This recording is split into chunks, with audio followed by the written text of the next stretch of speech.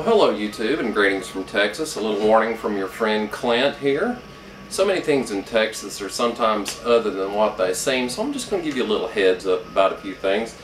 I'm asking you to forgive my appearance. I'm all covered in dirt and I smell quite a bit like uh, rat snake musk. But uh, if you're like I am and you live in Texas, and who's to say that you don't and that you're not, you probably went to the feed store and you fell in love with chickens. And so you had to buy some, not just one, you had to all 21. I did.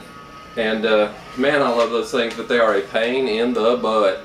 So I'm going to warn you straight up, don't fall in love with the chickens, don't go chicken happy. I've done it for all of us. I've made the mistake. I'm making my confession so you don't have to follow in the same path I did.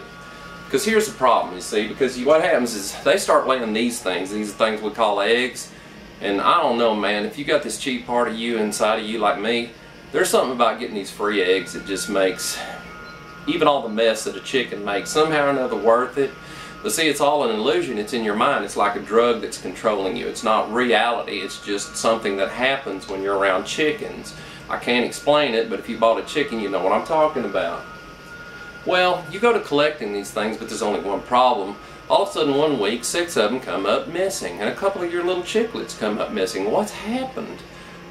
The grand mystery where have things gone? We know things don't disappear, so something has to have gone somewhere. Where did it go? You start looking around and guess what you find? That's right. You find a snake. Not just any snake. You find a big snake. And suddenly the mystery is solved. You know exactly where the eggs went. You would know exactly where the chickens went. So I'm going to open this up and show you why you need to be careful in Texas. Not only are there scorpions everywhere, so if you put your hand you could get stung. There's also snakes, so if you put your hand down you could get bit. Now fortunately this snake is a rat snake. It is not poisonous, but I'm going to show you why wearing protective equipment is still not a bad idea. If you watch this snake, and I'll see if I can demonstrate it, he'll start tracking my hand. If I put it up here, get any heat near him, he'll start tracking because he'll go straight for the heat and he will strike and he will bite. I'll just give you a little for instance. Let's see if I can get him to track a little here. Come on now, wake up. There we go. Come on, come on now. Okay, he's coming back around now. He's puffing up a little bit. Okay, he spray out a little bit of his nice, wonderful scent, so I'll learn not to touch him. He'll probably start hissing here. And now there we go. He's going to track. And he's going to start striking. You see his head going down? You see that tongue coming out? He's concentrating, and if I move my hand over here, he'll he'll sense it. And if I'm not careful, he'll get me. So what I'm going to do is I'm just going to be real careful. I've picked up a lot of snakes. I've handled a lot of snakes. And I'm going to show you why you had to be careful. I'm going to let him strike the glove so you'll get an idea that this thing can get you if he wants to. Well, now he's not going to do it, but he's been striking at me all day, bit me several times. He probably reach around and bite my arm. He doesn't see the heat because of the glove, but he does love to strike. At any rate, the reason you know that this isn't a copperhead or a rattlesnake or one of the other venomous snakes in Texas is because as you can see, it's way too long. If this was a rattlesnake, if this was a copperhead or if this was a water moccasin, it wouldn't be anywhere near this long. They are fat snakes, short fat snakes.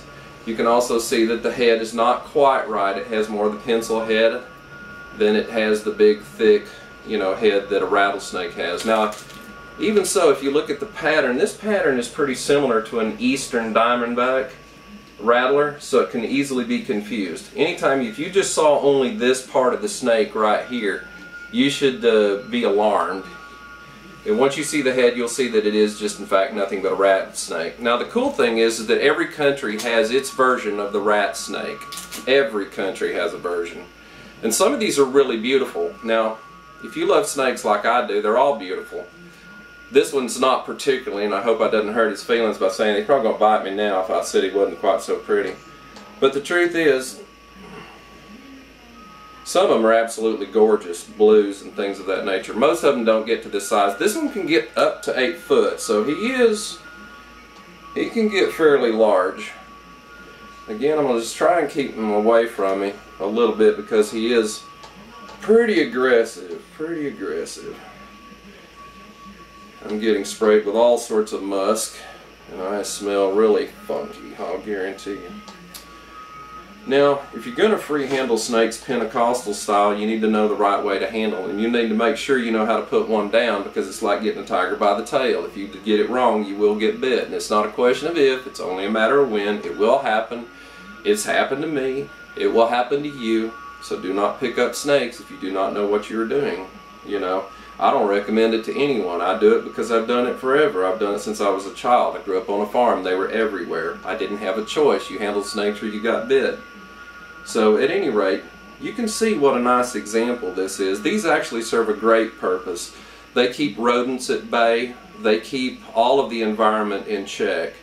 And if there's ever an argument for evolution, I'm not sure whether there is or isn't, one might possibly start with something as simple as the diversity of rat snakes and their presence everywhere and argue possibly uh, from that position that, you know, uh, things had changed somewhat. If, if, if the rat snake, you know, descended from one archetype, then it would, you know, stand to reason that possibly this amount of diversity would suggest that some form of, of evolution has taken place, some sort of diversity.